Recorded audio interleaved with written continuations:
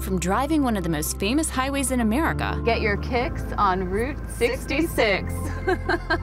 to exploring uncharted natural places in Wyoming and Martinique, In Rio de Janeiro, they have Copacabana. Los Angeles, they have Venice Beach. And Martinique, you have Les Salines. And we came to the right place. exactly, yes. the next season of Travels with Darley brings you the familiar and fascinating. People ski here. People do ski that amazingly.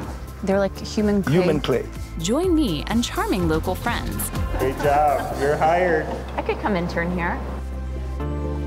And it all started right here It in all Ottawa. started right here in, in little old Ottawa. We welcomed Jerry Seinfeld and David Copperfield and Kenny Rogers and Jay Leno. And A lot of talent has come through here. A lot of magic at this theater. right where we're standing, the magic happened.